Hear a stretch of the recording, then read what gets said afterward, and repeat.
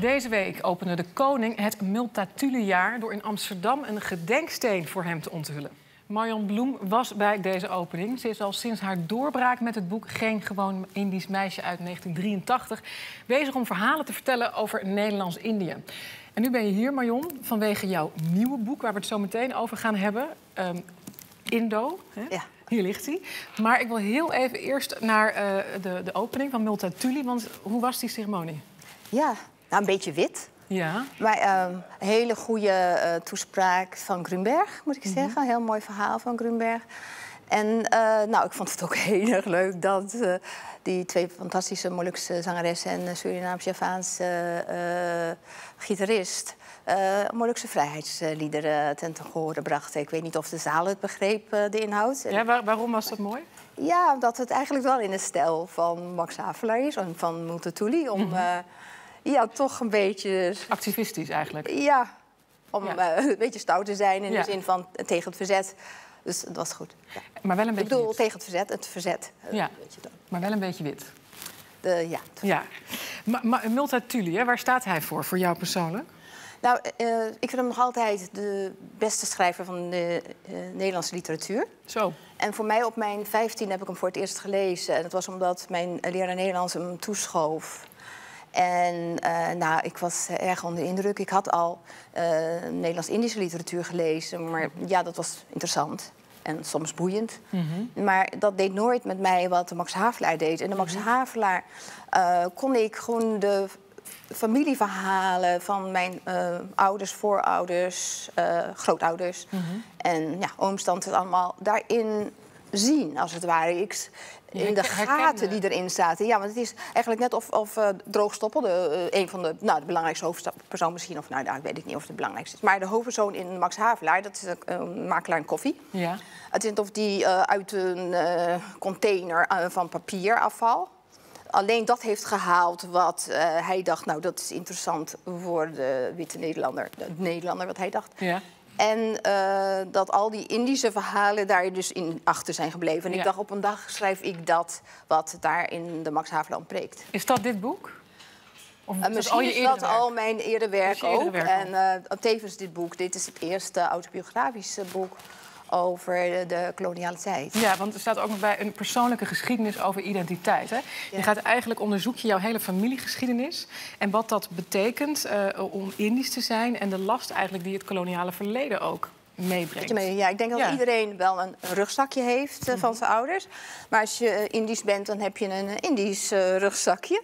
En dat is Wat wat, is dat Indische? Dat is wat complexer, omdat ten eerste omdat er, als je van de eerste, tweede generatie bent, zoals ik, dan heb je op school nog in de media heb je, daar iets van meegekregen. Mhm. En heb je dan eh, ouders die niet veel over vertelden, omdat ze dat al hadden afgeleerd eh, bij aankomst, dat niemand daar toch in geïnteresseerd je, was. je praat eigenlijk niet over wat je allemaal hebt meegemaakt. Ja, en Ja. eh, dus ik denk dat het heel erg belangrijk is om die informatie juist te kennen. Mhm.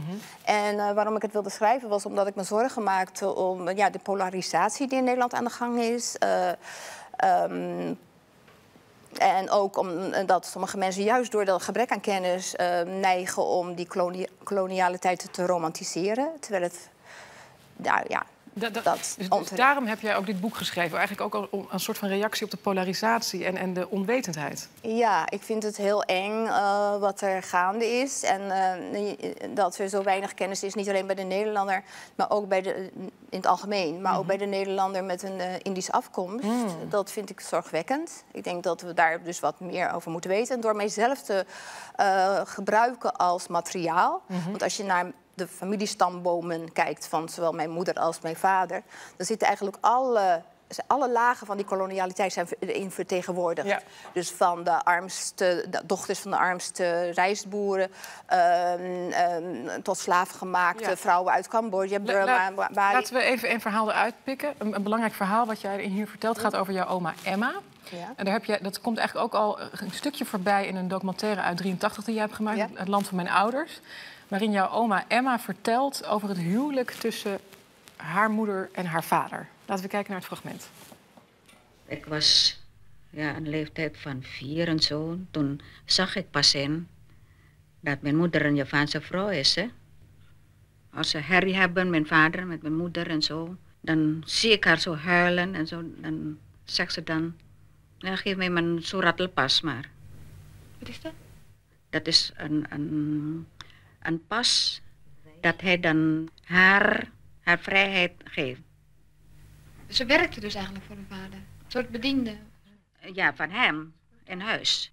Kan ze niet zomaar Eh. weggaan als ze dat wil? Misschien, ja, zij is een domme vrouw, hè.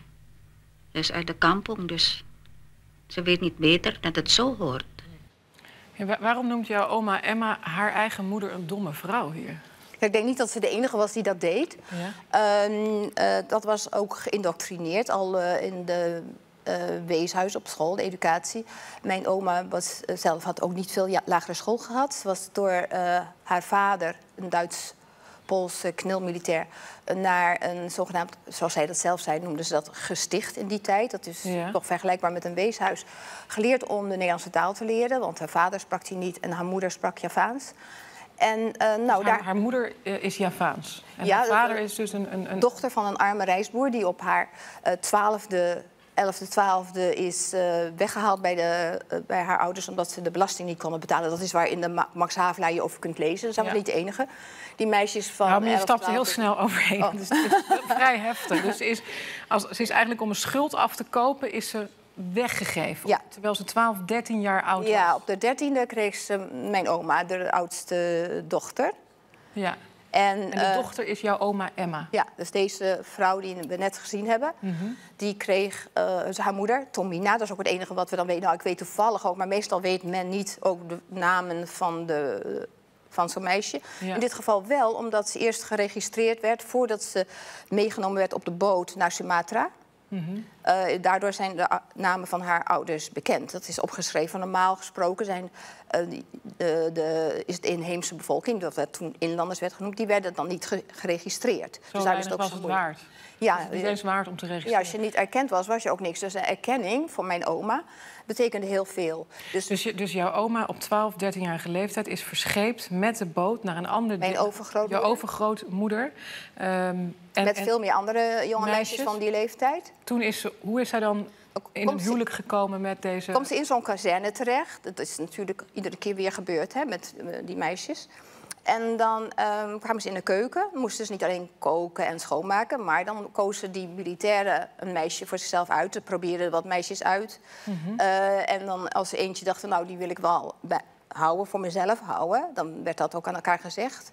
Dan noemden ze, want er werd niet echt getrouwd... dan noemden ze dat eh, onder de put...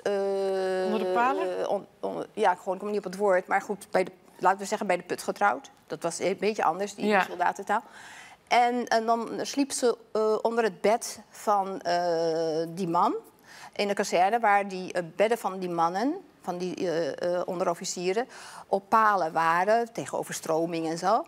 En daar werden dan de kinderen geboren daaronder. Dus daar moest de, de vrouw moest daaronder slapen en daar werden ook de kinderen geboren. Ja, dat werd wel afgedaan. Maar ja, maar Javaanse vrouwen sliepen altijd op matjes. Ehm, maar goed, dat eh, snap je. Ja. Eh, dat wordt dan, op die manier werd dat dan ook goed gepraat. Maar die eh, kinderen werden daar geboren. En zolang ze niet erkend werden door die vader... Ja. bestonden ze eigenlijk niet. Nee, maar heel even een stapje, nog één stap. Want jouw, jouw oma wordt ook een palenkind genoemd. Omdat zij dus is geboren, omdat zij zo Ja. uit, uit dit huwelijk komt. Ja, die kazernekinderen, waar de merendeel van de Indische mensen uit voort zijn gekomen. daar waren allemaal scheldwoorden voor. Mhm. Maar de kinderen die dus uit die, die kazerne huwelijken of relaties werden geboren... dat eh, die erkende kinderen, althans... want er waren, kwamen ook heel veel terug in de kampong of Ja. wel gewoon op straat... die eh, zijn eh, onder andere palenkinderen genoemd. Dus mijn, En- ook mijn en- oma zei Kamp. Kampong, even voor de duidelijkheid, dat is De kampong is eh wijk of dorp waar eh, de, eh, wat toen oorspronkelijke bewoners de oorspronkelijke bewoners Ja. Maar je ontdekte nog meer eh, heftige verhalen. Daar schrok ik ook heel erg van. Ehm, het fenomeen bloempjes uit eigen tuin. Wat zijn dat? Nou, die geronselde eh, militairen, dus waren mensen van heel Europa... en Nederlanders wilden helemaal niet zo graag in dat eh, leger... want die wisten wel hoe het toeging in Atje. Die kwamen terecht in wat het riool van Europa werd genoemd, in Harderwijk. En dan werden ze verscheept. Ehm, nou, die... eh, wacht even, sorry, je Ja, vraagt nou, nogmaals. wat bloempjes uit Ja, bloempjes uit tuin Nou, die namen ook geslachtsziekten mee... En, mannen eh, uit Europa. Ja, en die uh, onderofficieren, je mocht alleen maar in de kazerne vertoeven en in de bordelen. Maar verder kwamen ze niet, want die waren niet toegelaten bij de uh, witte koloniale samenleving... die zichzelf wat hoger in die samenleving zetten. Ja. En uh, ja, de geslachtsziekten werden zo verspreid. Om te voorkomen dat ze geslachtsziekten zouden oplopen, deden ze het vaak met hun eigen halfbloed dochters. En dat, ja, dat betekende op het moment dat zij vonden dat, het, uh, dat ze het kind wilden, en dat heette bloempje uit eigen tuin. Zo van, ik hoef niet naar de hoeren. En ik hoef niet meer met die vrouw te doen... die om wat voor reden dan ook misschien niet meer wilde. En uh, wat ook gebeurde was dat ze vrouwen uh, met, dus met een collega uit... De, sorry, de dochters met een collega uitruilden... om zo incest te voorkomen. En uh, terwijl vind, ja, in diezelfde tijd, ja, dat snap ik. Ja. Maar in diezelfde tijd was, dus wist donders goed of wel of niet goed was. In Nederland werd dat wel veroordeeld als, je, als dat ontdekt werd. En dan kwam je twee Ja. jaar voor twee jaar in de gevangenis. Maar, maar laten we heel even daar blijven. Ehm, de, dat is dus eigenlijk incest. De kinderen werden ook nog uitgeruild. Dat, dat vertel je eigenlijk. Maar wat doet dit met jou? Want dit, dit gaat ook over jouw geschiedenis. Wat doet het met jou als je dit allemaal uit, als je er hier allemaal achter komt? Ja, in 1983, 82, 81, toen ik daar eigenlijk veel meer documentaires over wilde maken. En, maar toen dat niet mogelijk was omdat eh, men zei altijd tegen mij, commissies, van ja, waarom zouden we dat allemaal oprakelen? Of ze zeiden van ja, jij hebt geen afstand tot het onderwerp. Eh, dan, en, maar men wilde dat nog niet horen. Ja. Toen deed het heel veel met mij en werd ik ook heel erg ja, gefrustreerd raakte Ja. ik ervan dat die informatie niet eh, Gehoord werd. gehoord werd. En in deze tijd mag veel meer. Gelukkig Mhm. is er het boek bijvoorbeeld van Tom Hofman, die laat zien wat voor straffen men kreeg Mhm. als ze niet eh, geluisterd werd en, eh, en waar de macht zat. En hoe ongelooflijk ehm, ja, gelaagd Laag. de samenleving was. Ja, dus eigenlijk is daar nu meer ruimte voor. Hè? Want jij, als je het over die lagen hebt, jij hebt het over trapjesdenken. Dat, ja, ik noem dat wat- trapjes denken, want dat is wat wat eh, met, met het, eh, met het, het eh, accepteren, dat we al met moeite ging voor Nederland, van Ja. die onafhankelijkheid. eh, is, wil dat niet zeggen vanaf dat moment dat eh, die, die, die koloniale waarden en normen die men geïnternaliseerd heeft, dat die ook meteen verdwenen zijn. Ja, want er was natuurlijk een, er was een soort van verdeel- en heersstructuur. Ja, er duidelijk. waren, het was dus eigenlijk een soort van klassensysteem. Ja, en dus, dus die mensen uit die kolonie, maar net zo goed ook de mensen in Nederland, die denken eigenlijk nog steeds zo alsof ze hoger zijn, meer macht hebben, of dat het hun witte huidskleur superieur is, dat ze dankzij hun witte kleur- huidskleur superieur zijn aan anderen. En jij denkt dat, dit dat dat nog steeds in Ja, helaas eh, merk ik dat, en tot mijn schrik, dat eh, in de afgelopen jaren steeds meer dat er politici zijn die durven zeggen dat er zoiets als een wit ras bestaat dat superieur is. Dan heb je het over Baudet, hè? Uh, Ja, ik, uh, ik heb geen zin om die eer te geven door zijn naam hier te noemen. I'm sorry. Maar uh, het, ik vind het, dat vond ik voldoende reden om dit boek te gaan schrijven. Want uh, wij moeten beseffen waar ons, wat, hoe wij in trapjes denken. Hoe wij denken vanuit altijd. Dat doet iedereen. Dat is niet alleen iemand die in een koloniale tijd heeft geleefd. En door dat bewust te worden, kun je het pas aanpakken. Als er geen bewustwording is, dan kom je er niet achter hoe je handelt, hoe je dagelijks handelen eigenlijk gebeurt vanuit dat trapjesdenken. Ja, hoe dat zo ver doorwerkt. Ja. Waar zet je jezelf op het treden? Dat is al in een familie, in een gezinssituatie. Zetten kinderen en volwassenen zetten zich ergens. En dan kun je kijken van hoe dat gebeurt. Daar kun je heel veel van leren. Maar ja, Wat dan- zouden we daarvan kunnen leren dan? Op de eerste plaats denk ik dat we geen vrijheid kunnen vieren als we niet eh, iedereen ook die vrijheid gunnen die we onszelf gunnen. Dus wat we moeten leren is dat je. eh, er is al trapjes denken, je kunt er bijna niet vanaf komen. Het is bestiaal, het, is, eh, hè, het, is, het houdt ons overeind. Ik, We- ik, ik zou een klein beetje hoop willen. ik, ik, ik, Ja, ik zou ik- zo graag nou, willen hopen dat we ik er ook. wel van af kunnen Ja. komen. Maar goed, jij, jij, jij ik denkt denk van niet, maar- bewustwording. Nee, nee, ik zeg niet dat het overgaat. Ik denk alleen dat ehm, je het altijd doet ook voor je eigen eh, gevoel, van, gevoel van eigenwaarde. Als je het maar bewust bent, dan kan je er ook wat aan doen. Ja. En dat betekent, de bewustwording kan alleen maar door de juiste informatie te krijgen, door een goede reflectie. En er is nog van te weinig, gelukkig gebeurt het al beter, te weinig goed gereflecteerd. Maar ik vind het dan wel heel erg jammer als er dan eh, reflecties tussenkomen. Die eh, eh, opeens gaan zeggen dat die koloniale tijd zo mooi, prachtig was. Ja. En het willen romantiseren. Ja, daar, daar gaan we het straks over hebben. daar gaan we straks over verder praten. Maar als je het hebt over... We, we zouden dus wat van kunnen leren. We moeten er bewuster van worden. Eh, er worden natuurlijk nu heel veel verhalen verteld. Ik zei het net al. Nieuwe boeken die uitkomen. Nieuwe films.